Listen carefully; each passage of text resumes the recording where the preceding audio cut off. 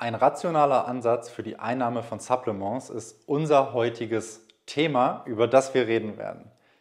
Nahrungsergänzungsmittel werden im Englischen Supplements genannt, darum spricht man auch gerne von Subs, also der Kurzform von Supplements. Und ich definiere in diesem Video Supplements als die Einnahme von Tabletten, Tropfen und Pulvern, die nicht verschreibungspflichtig sind und den Menschen dabei unterstützen sollen, eine optimale Zufuhr an Vitaminen und ähnlichen Dingen, also wie zum Beispiel Spurenelementen, zu erzielen. Solche Supplements habe ich schon eingenommen, als ich noch ein Jugendlicher war.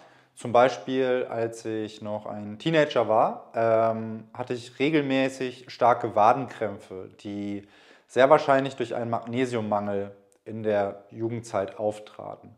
Also habe ich dann immer von meinem Papa aus dem äh, Schrank die Magnesiumtabletten genommen mit so einem ekligen Orangengeschmack, die man dann eingeworfen hat und dann so ja, angefangen haben, sich aufzulösen. Und ähm, das war so mein Einstieg. Und ein Jahr nach dem Beginn meines Studiums, ähm, einer nicht so gesunden Ernährung im ersten Jahr, meldete ich mich das erste Mal im Fitnessstudio an. Und äh, in der gängigen Bodybuilder-Szene und in den Bodybuilder-Foren wurde schon vor über zehn Jahren über diverse Nahrungsergänzungsmittel gesprochen, die man unbedingt äh, einnehmen sollte. Und ich habe mich aber erstmal auf Proteinpulver und Kreatin beschränkt. Also jetzt sowieso nicht auf irgendwelche schlimmen Sachen, aber erstmal auf diese zwei Sachen.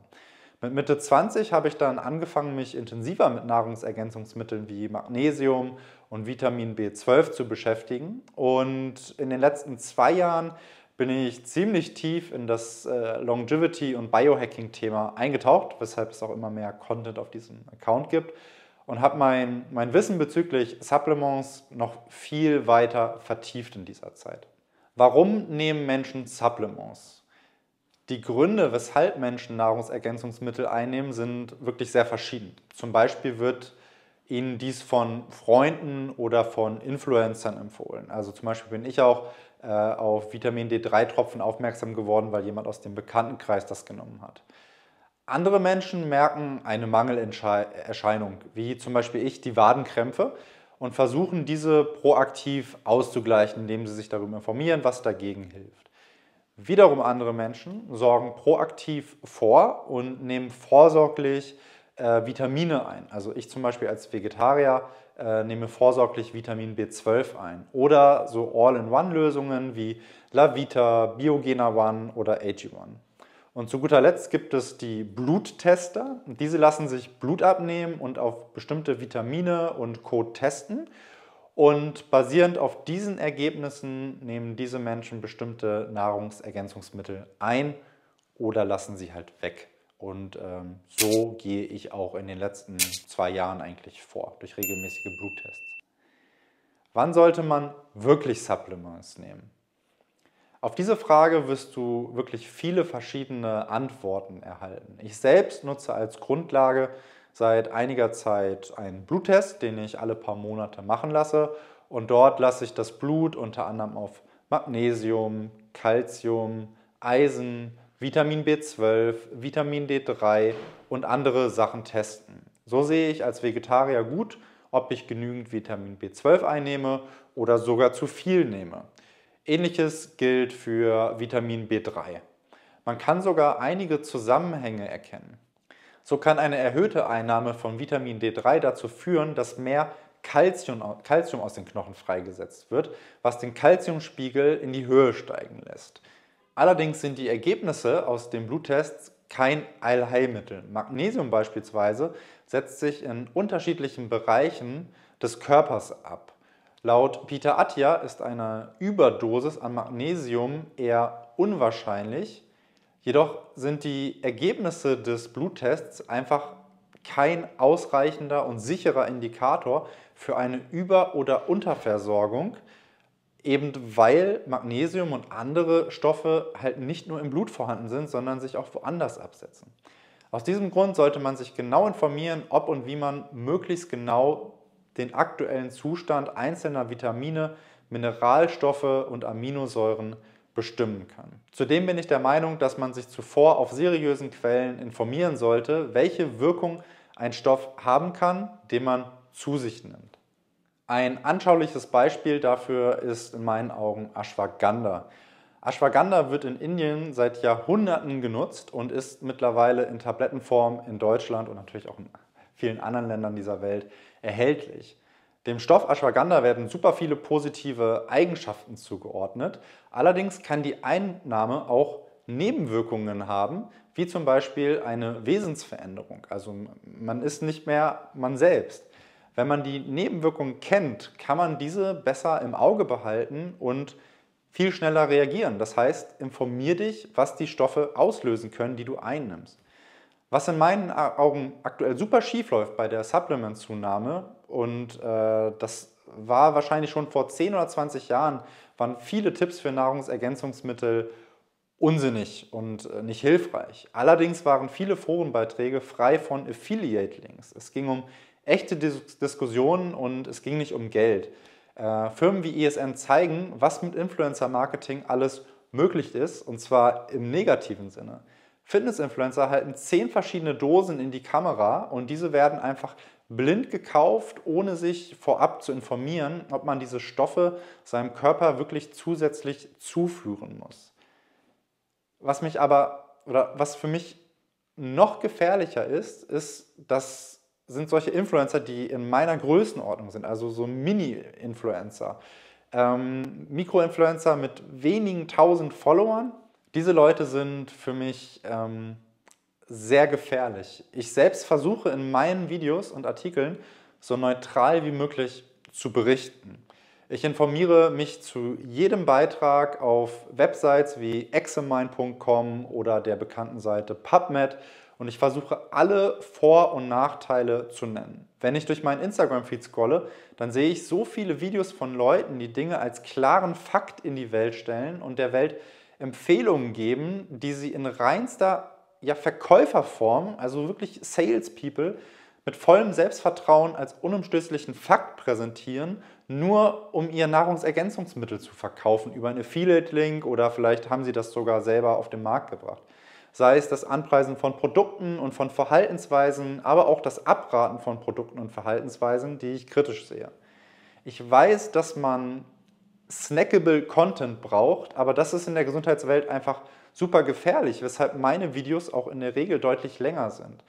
Da wird einem einfach mal Ashwagandha gegen Schlafprobleme und Verstimmung empfohlen und alle Nachteile werden einfach ignoriert und ähm, das kann einfach gefährlich werden. Ein, äh, ebenfalls ein großes Problem sind die Podcasts von Leuten wie Andrew Huberman oder Peter Attia.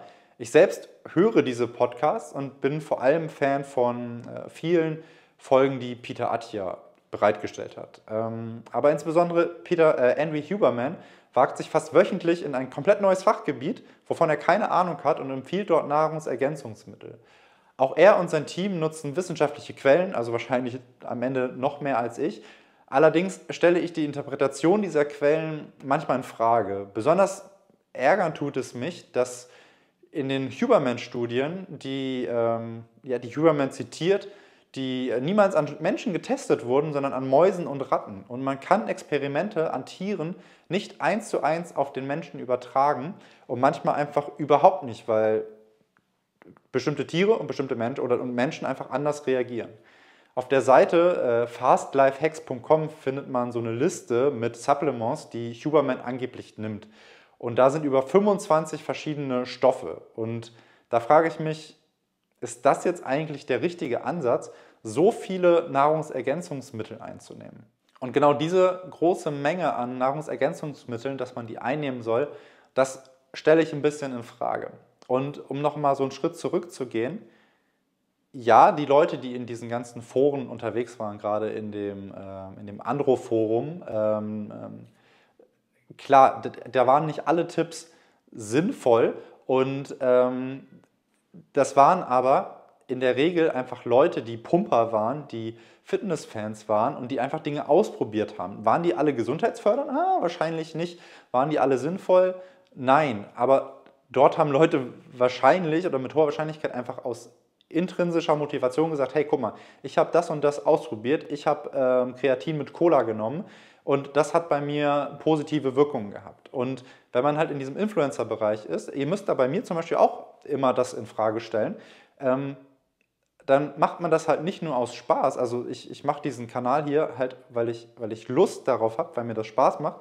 Aber natürlich möchte ich auch ein bisschen äh, Geld damit einnehmen. In, der Regel ist das hier für mich ein Nullsummenspiel. Ähm, ich habe einfach, ich, ich gebe einfach fast das ganze Geld oder das komplette Geld einfach wieder aus, um neuen Content zu produzieren. Ich habe mir Lichter gekauft, ich habe mir äh, eine gute Kamera gekauft, ich habe äh, letztens wieder für mehrere hundert Euro neues Equipment gekauft. Ich muss ja auch die ganzen Produkte selber kaufen, weil ich äh, jetzt kaum irgendwie Kooperationen bekomme und trotzdem müsst ihr ja hinterfragen, hey, ähm, welchen, was, was hat Fabian für einen Vorteil daraus? Also zum Beispiel, Fabian hat äh, Affiliate-Links mit, mit, mit Whoop und mit, mit Biogena und mit, ähm, mit AG1. Okay, ähm, wie ist sein Video dazu? Was, was erzählt er dazu? Erzählt er nur positive Sachen? Erzählt er auch negative Sachen? Okay, er hat einen Affiliate-Link, also will er damit wahrscheinlich auch ein bisschen Geld verdienen. Also hinterfrage ich das alles. Und genau das sollte man in meinen Augen auch bei diesen ganzen anderen Influencern ähm, machen. Was ist sein Ziel dahinter? Wahrscheinlich haben viele auch, äh, möchten euch wirklich helfen. Also ich glaube nicht, dass die meisten das aus, äh, einfach nur aus Geldgier machen, sondern sie möchten den Leuten helfen. Trotzdem würde ich das einfach immer alles nochmal ähm, hinterfragen.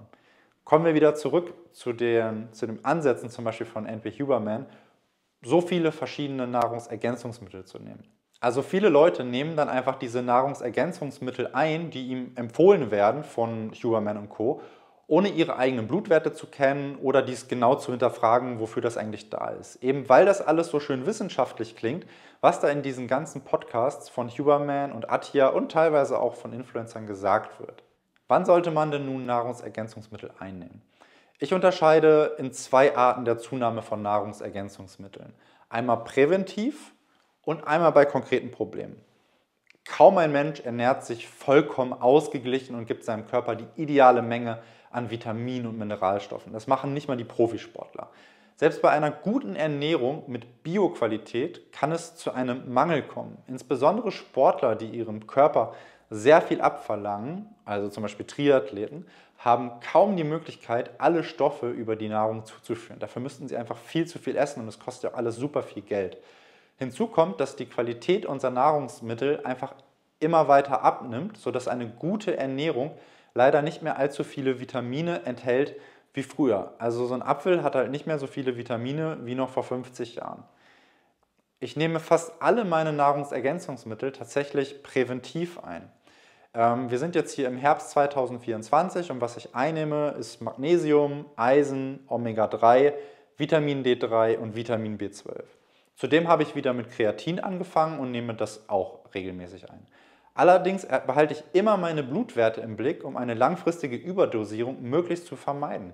So habe ich zum Beispiel gemerkt, dass Vitamin B12 zu hoch war. Also ich hatte einen Wert, der schon ähm, leicht am Limit war und habe meine Menge an Vitamin B12 daraufhin reduziert. Mein Tipp, nimm immer nur ein neues Nahrungsergänzungsmittel auf einmal. Ich kenne die Versuchung selbst. Man hat einen Abend im Internet recherchiert oder vielleicht auch länger und sich durchgelesen, welche Nahrungsergänzungsmittel jetzt hilfreich sein können und hat dann bei Sunday Naturals, bei iHerb, bei Amazon, wo auch immer eine Bestellung aufgegeben. Und dann kommen ein paar Tage später die ganzen schönen Dosen an, die man da bestellt hat und möchte eigentlich am liebsten ähm, die alle gleich einnehmen, damit man sich noch besser fühlt als vorher. Und ich rate aber aus persönlichen Gründen davon ab. Ich empfehle immer nur ein Präparat hinzuzufügen und nach und nach weitere Präparate, also Nahrungsergänzungsmittel, zu ergänzen. Nehmen wir an, du nimmst ab heute Magnesium und Vitamin B12. Drei Tage später merkst du, dass du ständig Durchfall hast. Was ist der Grund? Ist es jetzt das Magnesium oder das Vitamin B12? Oder die Kombination aus beiden? Das weißt du nicht. Fang also lieber erst mit Magnesium an oder mit Vitamin B12 und nehme dann einige Tage später Vitamin B12 oder eben Magnesium, wenn du keine Nebenwirkungen spürst. So bekommst du ein besseres Gefühl dafür, welches Supplement auf deinen Körper wirkt oder eben auch nicht wirkt und wie es in Kombination wirkt. Ich habe zum Beispiel einige Wochen Ashwagandha probiert und habe einfach gar keine Veränderung gespürt. Also ich habe nichts, gar nichts einfach wahrgenommen und dann wusste ich auch, okay, kann ich wieder absetzen. Wie sieht es mit All-in-One-Drinks von Lavita, Biogena One und AG1 aus? Ich habe alle drei Produkte eine längere Zeit getestet. Und wenn ich eins empfehlen würde, dann äh, tatsächlich Biogena One. Das gefällt mir am besten. Basierend auf dem vorherigen, was ich erzählt habe, müsste ich diese Drinks doch aber eigentlich stark ablehnen. Meine Antwort nein. Wer viel Zeit in seinen Körper investieren möchte, dem würde ich immer empfehlen, jedes Supplement einzeln sich auszuwählen und hinzuzufügen. Aber viele Leute haben einfach gar keine Lust, sich ständig mit ihrem Körper zu beschäftigen. Die sind nicht wie ich und haben einfach Bock dazu und sind in irgendwelchen WhatsApp-Foren und so unterwegs und auf PubMed und äh, ich habe sogar einen eigenen Blog und einen YouTube-Kanal darüber und andere vermeiden es schon, 20 Minuten Sport zu treiben. Also wer sich nicht die Zeit für seinen Körper nehmen möchte und zeitgleich sicher gehen möchte, dass er alle Vitamine und Spurenelemente und Co. bekommt, dem würde ich nicht vom Biogena One und anderen äh, All-in-One-Drinks abraten. Ich würde dennoch empfehlen, mindestens einmal im Jahr, eigentlich sogar öfter, einen Bluttest zu machen, um die Unterversorgung und Überversorgung im Blick zu behalten. Macht das gerne, bezahlt das lieber gerne selber und untersucht genau das, was ihr haben wollt. Besonders aufmerksam sollte man bei fettlöslichen Vitaminen sein, also die Vitamine A, D, E und K. Denn die meisten Nahrungsergänzungsmittel, die man überdosiert, werden einfach über den Urin ausgeschieden, gerade bei, bei kleineren Mengen Überdosen. Das sieht bei Vitamin B-Komplexpräparaten sehr lustig aus, man pinkelt nämlich dann am Ende sehr gelb. Die fettlöslichen Vitamine aber spült man nicht über den Gang aufs Klo raus, somit kann es einfach deutlich einfacher zu einer Überdosierung kommen, die zu Nebenwirkungen führt, eben weil man es nicht auspinkeln kann. Meinem Gefühl nach ist die Dosierung bei Lavita zum Beispiel relativ hoch von den fettlöslichen Vitaminen. Biogena One hat laut eigener Aussage die Dosis für fettlösliche Stoffe etwas reduziert, also etwas weniger, als sie eigentlich nehmen würden, um Überdosierungen zu vermeiden.